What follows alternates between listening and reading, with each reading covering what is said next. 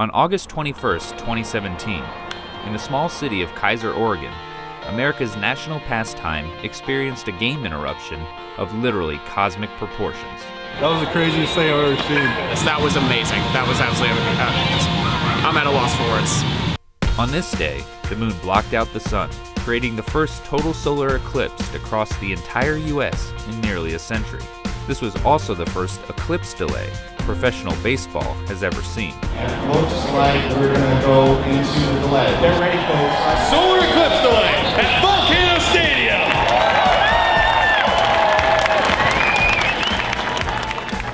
None of these events happened by chance, however. While the forces of the universe were already set to provide the main attraction, this unique viewing experience was the product of great teamwork by the Salem Keizer Volcanoes minor league baseball team and NASA's Lunar Reconnaissance Orbiter mission. Over the course of a four day home series, representatives from NASA Goddard and LRO set up shop in Volcano Stadium. There were on the field science presentations, NASA videos playing on the Jumbotron, and a variety of learning opportunities taking place in booths on the concourse, creating one of the most unique science sporting events in the country. Noah Petro, the deputy project scientist for LRO, even got to fulfill a childhood dream by throwing out the ceremonial pitch. If you were a fan of baseball, lunar science, or just eager to have a clear view of a total solar eclipse, this was the place to be. What are you looking forward to today? Is there something you're really excited about seeing? I definitely want to see the corona, and I'm looking forward to totality. What made you decide to come to the Volcano Stadium today for the eclipse? Well, I really want to see the eclipse, and we also love baseball, so it's kind of a two in one.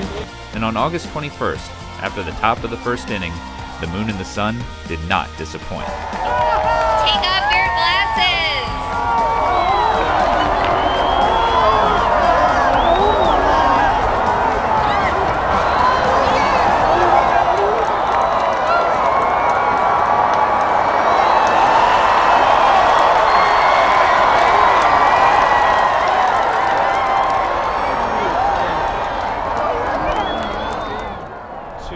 After totality had passed over the park, Noah tossed a ball all the way across the country to a similar event being held at the Charleston Riverdog Stadium, creating what could be described as a transcontinental eclipse doubleheader. Great throw, Noah.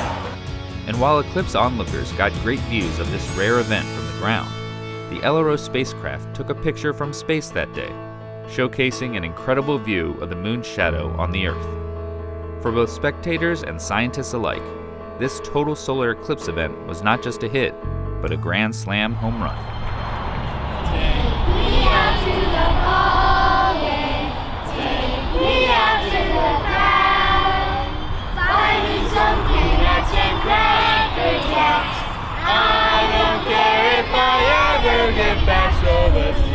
Root, root for.